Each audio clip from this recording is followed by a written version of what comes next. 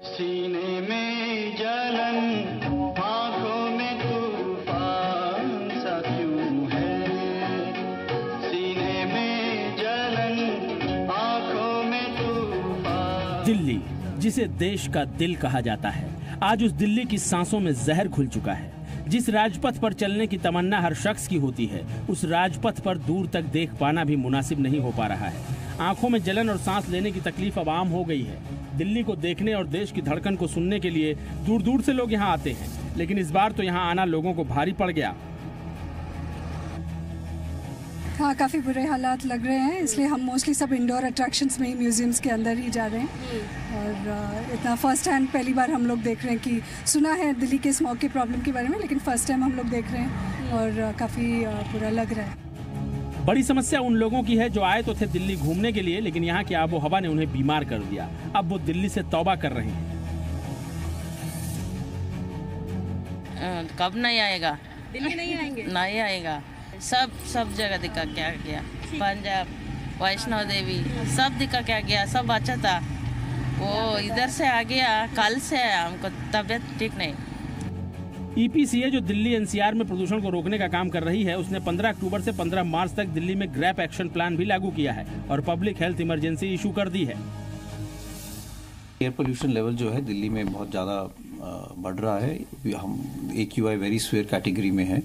और इसमें जो हाई रिस्क ग्रुप हैं, जैसे बच्चे हैं, बुज़ुर्ग हैं, जिनको हार्ट और रेस्पिरेटरी प्रॉब्लम्स हैं प्रेग्नेंट वुमेन हैं, इन पे ज़्यादा असर पड़ रहा है।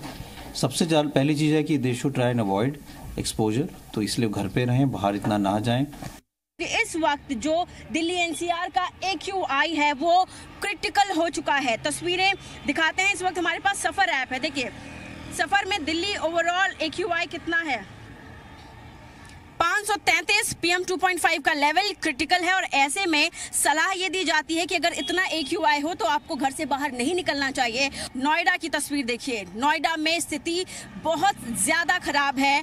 पीएम 10 का लेवल 656 के आसपास है। यानी ये क्रिटिकल से भी ज़्यादा खतरनाक स्थिति जो है इसको कही जा सकती है।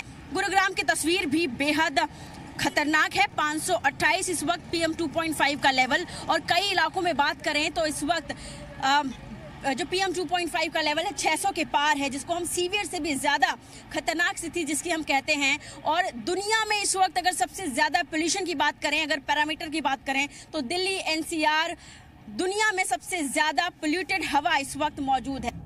दिल्ली साफ़ हवा के लिए तरस रही है। माना जाता था कि सुबह की सैर सेहत के लिए लाभदायक होती है लेकिन अगर इन दिनों आप टहलने या साइकिलिंग के लिए सुबह निकले तो समझिए खुदकुशी करने जा रहे हैं।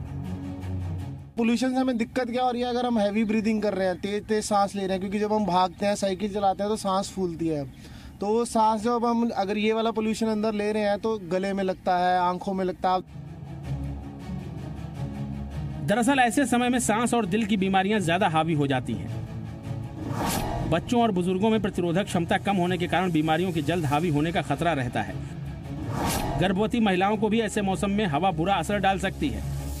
और ऐसे समय में जिन लोगों को सांस की बीमारी है, जैसे अस्थमा या दिल का कोई रोग तो उसे भी इस मौसम में बचना चाहिए। कहते हैं, इलाज से बेहतर बचाव होता है। लिहाजा कोशिश करें कि ऐसी हालत में बाहर ही ना निकलें। सुबह एक्सरसाइज के लिए निकलते हैं तो कुछ दिन घर पर ही व्यायाम करें। और अगर बाहर निकलना ज़रूरी है तो एन नाइन्टी फाइव मास्क पहनकर ही निकलें। घर के भीतर हवा की क्वालिटी बनाए रखें, अदरक और तुलसी की चाय पिएँ और अपने आहार में विटामिन सी और ओमेगा थ्री को ज़रूर शामिल करें।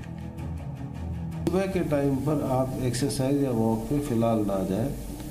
जिनको बहुत ही ज़्यादा है कि उनका काम ही नहीं चलता जाए तब आपको एन नाइन्टी फाइव मास्क लगा के नॉर्मल मास्क नहीं एन नाइन्टी फाइव मास्क लगा के फिर आप बाहर जाए तो आपको थोड़ा सा बचाव हो जाएगा। लोगों ने मास्क भी लगा रखे हैं लेकिन आँखों में जलन हो रही है। कुछ लोगों को स्किन की समस्या भी होने लगी है। बहुत दिक्कत ब्रीथिंग में प्रॉब्लम हो रही है। और मतलब बहुत चीज़ें दिखने में प्रॉब्लम है इधर उधर दूर दिखाई दूर का दिखाई नहीं दे रहा। पर्यावरणविद मानते हैं कि दिल्ली में पब्लिक हेल्थ इमरजेंसी ज़रूरी थी। हालात बहुत खराब हो चुके हैं और दिल्ली गैस चैम्बर बन चुकी है। देखिए दिल्ली की जो अभी स्थिति है जो एपका ने हेल्थ इमरजेंसी घोषित किया है बहुत ही आवश्यकता था आवश्यक है। आ, क्योंकि पिछले चार पाँच दिनों से जो स्थिति है वो बहुत ही ज़्यादा भयावह है और पिछले पंद्रह दिनों से जो एयर क्वालिटी इंडेक्स दिल्ली के अनेक इलाकों में है वो ऑलमोस्ट डेंजरस लेवल में आ, में था। 300 से ऊपर था। बहुत सारे शहरों को बाकी जो यूरोप के शहर होते हैं या कैलिफ़ोर्निया अमेरिकी शहर होते हैं उनको बंद कर, कर दिया जाता है जब एयर क्वालिटी इंडेक्स 200 से ज़्यादा होता है। तो स्थिति बहुत ही भयावह थी। ऑलमोस्ट गैस चेंबर बना हुआ है दिल्ली? तो देखा आपने, दिल्ली यानी देश का दिल, जिसकी धड़कन पर प्रदूषण का असर हो रहा है, अब इस दिल्ली को दो कदम चलने में तकलीफ़ हो रही है। थोड़ा सा दौड़ने पर दिल्ली की साँसें फूलने लगती हैं, और दिल्ली की आँखों से आप कुछ देखना चाहेंगे तो फ़िलहाल सब कुछ धुंधला ही दिखेगा। Bureau report, Zee Media.